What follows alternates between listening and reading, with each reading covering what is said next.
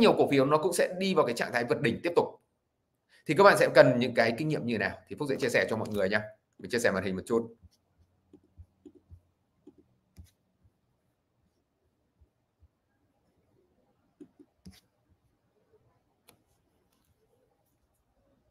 Trước khi đi vào cái phần chia sẻ rất quan trọng này, cũng như là những cái phần chia sẻ liên quan kinh nghiệm và kiến thức đầu tư, thì anh chị em nào cho một like, đúng không một share cũng như một tim để nâng cao tinh thần này nhỉ ok chưa? Không anh chị em nghe lâu quá rồi lại quên mất đúng không? Để những cái giá trị mà hôm nay team chia sẻ ở buổi chuyên sâu nó sẽ giúp cho các bạn có thể có cái tư duy đầu tư từ đây đến cuối năm.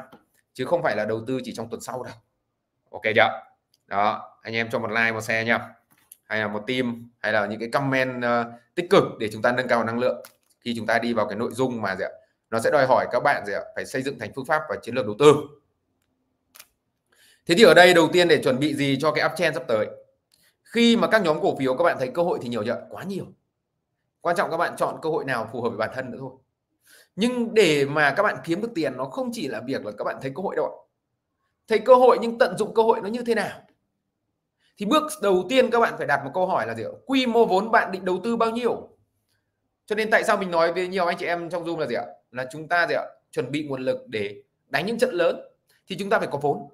Nhưng mà vốn ở đây nó phải phù hợp với mỗi người nhá, phù hợp với trình độ kiến thức không phải là thị trường tốt mà ai cũng kiếm được tiền đâu. Các bạn nhớ nhá. Thị trường tốt nhưng có người dạ, dùng cái vốn mà nó không phù hợp. Tức là vốn quá sức chịu đựng. Thì các bạn không không chịu được áp lực đâu. Thì các bạn hãy chuẩn bị quy mô vốn của bạn. Giai đoạn từ chân sóng là bạn cầm đánh đầu tư bao nhiêu. Rất nhiều nhà đầu tư các bạn biết thua lỗ tại sao ạ? Thua lỗ bởi vì người ta không xác định được quy mô vốn người ta đầu tư. Ví dụ các bạn nhìn vào cả một cái uptrend các bạn cũng đang ở một cái gọi là chân sóng đúng không? Chân sóng lớn. Thị trường đã có những cái sóng phục hồi rồi. Nhưng mà cái sóng mạnh nhất nó chưa đến đâu. Cho nên tại sao những cái giai đoạn vừa qua các bạn kiếm được nhiều hay ít nó không quá quan trọng. Quan trọng là cái sóng chính của nó. Các bạn phải kiếm được nhiều nhất. Nhưng các bạn biết tại sao nhà đầu tư trải qua cả 2021 nhân 5 10 lần xong rồi lại về uh, tay trắng không? Bởi vì xác định quy mô vốn không chuẩn này. Ví dụ giai đoạn ở vùng 800 điểm đến 1.000 điểm. Các bạn đầu tư quy mô vốn là 1 tỷ nhưng cái lòng tham của các bạn sẽ lên dần khi thị trường nó tăng. Ví dụ trong một năm 2020 bạn xác định đầu tư quy mô vốn bao nhiêu? Đúng không? Bạn xác định là vùng 800 điểm đến 850 điểm bạn sẽ đầu tư 1 tỷ. Thế thì cả năm đấy bạn hãy đầu tư trong 1 tỷ thôi. Đến cuối năm bạn tổng kết lại bạn lãi bao nhiêu? Bạn có thể rút một phần lãi ra để bạn để chuyển đổi tài sản. Hoặc bạn có thể dùng cái lãi đấy để đầu tư tiếp. Nhưng bạn phải lên một kế hoạch là, ok 2020 vốn của tôi đã từ 1 tỷ tôi kiếm được nhân đôi.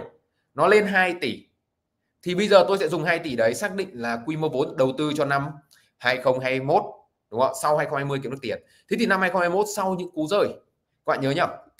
Tức là bạn bắt đầu sẽ tăng vốn từ 1 tỷ thành 2 tỷ. Chính cái lợi nhuận dựa trên lợi nhuận của mình giống như các doanh nghiệp. Hàng năm họ sẽ có câu chuyện tăng vốn khi họ thấy bối cảnh vĩ mô vẫn tốt. Nhưng mà thường ấy, các bạn nhớ là tăng vốn vào những lúc thị trường có những cú rơi thì những cú rơi đó là lúc các bạn gì ạ? Set up lại nguồn lực, chuẩn bị gì ạ? 2 tỷ tôi đầu tư ở vùng 1.000 điểm đến 1.100 ok chưa ạ? Hay là 1.200 thế thì các bạn khi đầu tư từ vùng 1.000 đến 1.200 làm vốn của bạn ở trong quanh 2 tỷ. Thì bạn chỉ xác định là năm đấy tôi đầu tư 2 tỷ. Và đến tận gì ạ? Kết thúc đến 2021 kết thúc chu kỳ. Đúng không vốn của tôi ở mức đó thôi. Nhưng các bạn hay có một đặc điểm là gì? Thích tăng vốn lúc nào thì tăng các bạn thích là gì? Ở đây thì là 100 triệu, ở đây là 500 lên đây một chút là 700 lên đến đỉnh thì thường là vốn cao nhất. Ok chưa? Bạn hãy xác định cho mình tăng trưởng quy mô vốn, bạn xác định theo tầm nhìn theo năm. Còn đâu ngắn nhất cũng là xác định tầm nhìn 6 tháng. Và thường là người ta sẽ tăng vốn sau những cú thị trường rơi. Rơi. Ok chưa?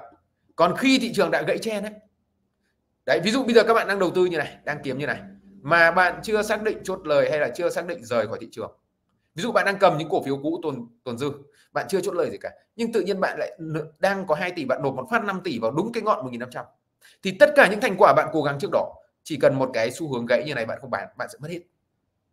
Mình giả sử 1 tỷ ở chân đáy 2020 các bạn đánh lên được thành 5 tỷ ở đỉnh 1.500 thì ở đỉnh 1.500 5 tỷ đấy bạn có lỗ mất 1 tỷ khi nó rơi, thì bạn vẫn còn 4 tỷ các bạn nhưng đa phần cái sai lầm của nhà đầu tư là gì?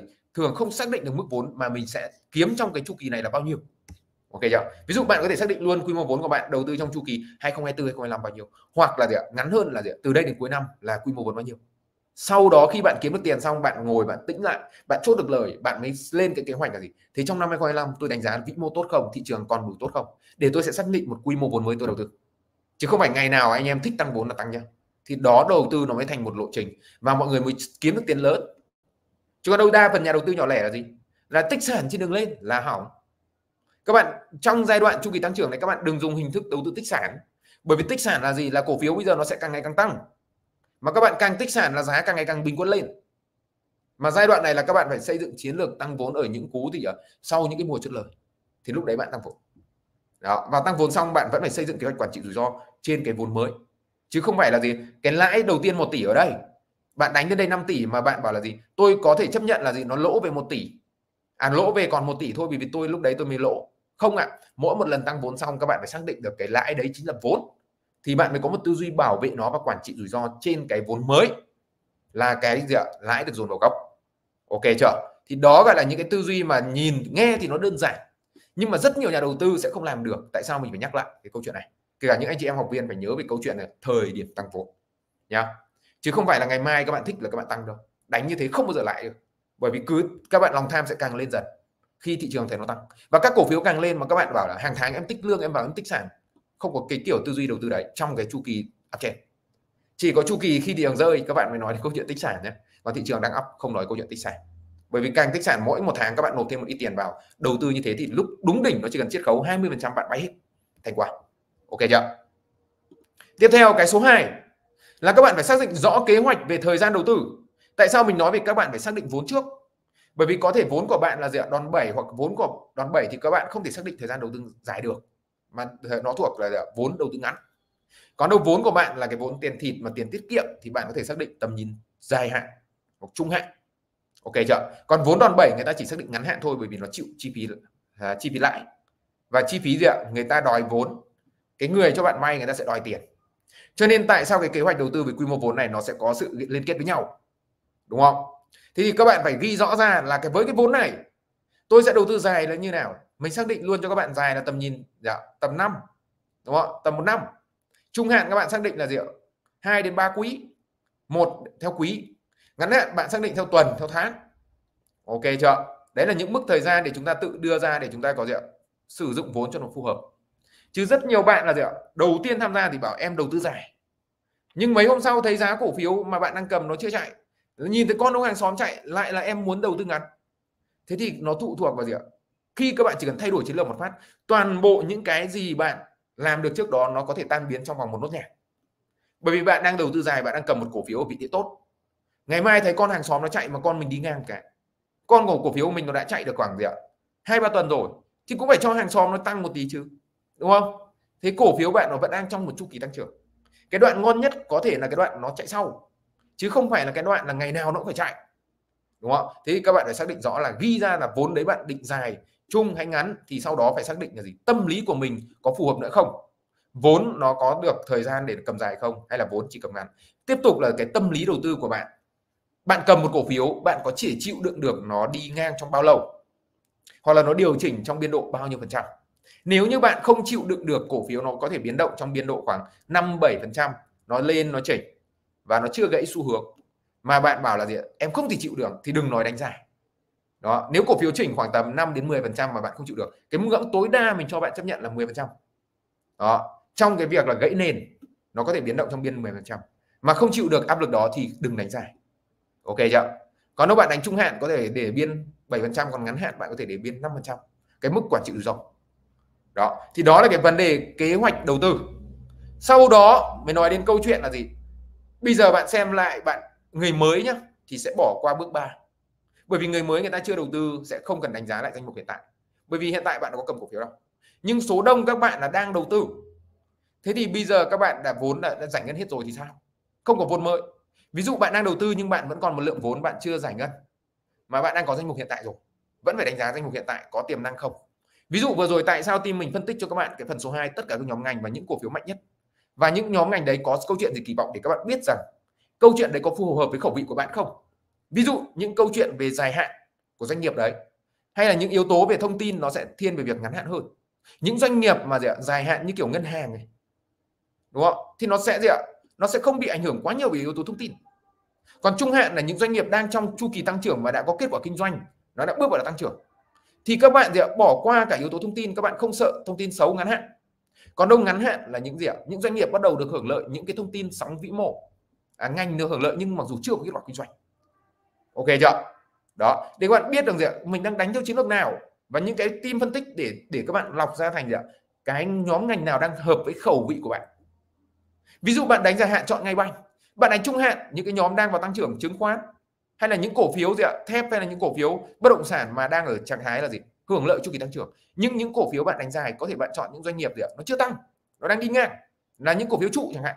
Cổ phiếu lớn của các ngành. Hoặc là bạn đánh ngắn hạn, có những sóng thông tin như sóng cảng biển, đúng không? Hay là gì ạ? Những hưởng lợi từ giá cả hàng hóa nó tăng. Những thông tin đấy có thông tin cái là vào ngay. Đó, bởi vì nó hưởng lợi, sóng thông tin ít nhất đã kéo cổ phiếu một đoạn.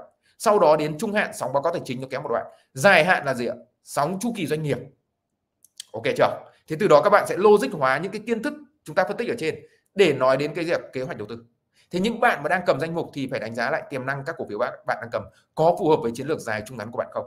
Nếu con nào bạn toàn là đánh ngắn mà nó lại không có hưởng lợi yếu tố thông tin nào ngắn hạn, thế thì rõ ràng những con đó bạn sẽ loại bỏ. Còn con nào bạn đánh trung hạn, nếu như doanh nghiệp đấy chưa vào chu kỳ tăng trưởng hoạt động kinh doanh, thì bạn gì ạ? Bạn gì ạ? Bạn sẽ phải loại bỏ nó. Nếu như nó chưa vào cái đà tăng trưởng. Nếu bạn đánh dài hạn mà con nào mà gì, bạn đang thấy là gì? Là cổ phiếu đấy, là cổ phiếu, nó không có tiềm năng ở trong năm nay. Có những doanh nghiệp nhé trong năm 2024 nó chả có yếu tố gì tiềm năng kỳ vọng cả, mà giá cổ phiếu thì chả có gì để đi lên cả. Thế thì bạn xem lại những doanh nghiệp của bạn đang cầm, có phù hợp không để cơ cấu lại danh mục. Ok chưa? Tại sao ạ? Nếu bạn đang phun hàng mà bạn không có nguồn tiền khác nữa, thì đến lúc mà các nhóm cổ phiếu mới vào sóng, bạn lấy tiền đâu để mua? Ok chưa? Thì mình mới gọi là gì? Tại sao cần cơ cấu danh mục? Nếu danh mục mạnh rồi, ngồi im. Đó thì khi thị trường vào sóng, bạn được hưởng lợi luôn, đang có vị thế tốt. Còn cái cổ phiếu của bạn đánh giá không phải cổ phiếu tiềm năng thì bạn phải cơ cấu lại. Tiếp theo, sau khi bạn đã cơ cấu, ví dụ bạn có một phần tiền trong tay, một phần cổ phiếu, ok chưa? Thì cái cổ phiếu của bạn là cổ phiếu mạnh hết rồi thì không cần tiền. Mà nếu cổ phiếu bạn chưa mạnh hết, bạn phải cần tiền. Hoặc các bạn đã cầm đủ cổ nhưng bạn vẫn còn một lượng tiền, thì cái lượng tiền đấy đang chuẩn bị cho cái điều gì? Đó chính là phải lên list cổ phiếu chiến lược vào sóng mới bây giờ rõ ràng vừa rồi các bạn có thể thống kê lại, mỗi một ngành team đã pick cho các bạn khoảng 2 đến 3 cái mã mạnh. Và những cái mã nó đang được ưu tiên thì nó gọi là lead cổ phiếu. Các bạn biết là khi nó vào sóng ấy, bây giờ bảo các bạn là chọn con nào, để từ đây cuối năm tăng thì con nào cũng được. Nhưng chọn con nào để sắp tới trong cái tháng 6 tháng 7 này nó tăng mạnh nhất thì các bạn phải có lead trước đã. Khi các bạn có lead cổ phiếu theo dõi và lead những cổ phiếu đấy có hưởng lợi thông tin này, có hưởng lợi gì ạ? Chu kỳ tăng trưởng này và có dòng tiền đang thể hiện set up mẫu hình đẹp này thì nó gọi là gì ạ? Lọc ra các ngành và gì ạ?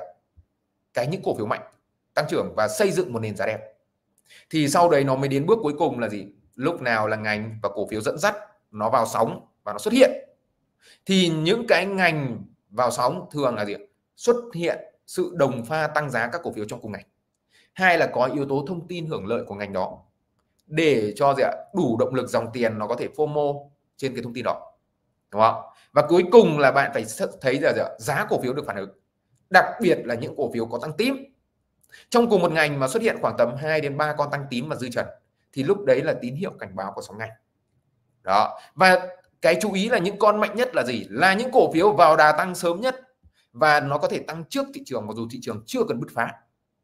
Ok chưa đấy, thì các bạn nhớ nhé cổ phiếu mạnh là những cổ phiếu có câu chuyện đột biến về lợi nhuận. Câu chuyện thôi nhá, chưa cần đột biến nhá bởi vì khi nó đột biến rồi thì là lúc đấy nó đã tăng rất nó đã có một đoạn tăng rất mạnh từ trước rồi. Còn cái lúc mà các bạn đi tìm kiếm cổ phiếu dẫn dắt phải là cổ phiếu đã bắt đầu có câu chuyện. Đó. Và trước đây nó đã bắt đầu thoát dần khỏi giai đoạn của gì ạ? khó khăn.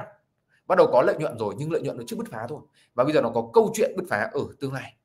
Kết hợp vào đó là gì? Nó là cổ phiếu đang thể hiện dòng tiền lớn lao vào bởi những câu chuyện nhìn thấy trên đồ thị.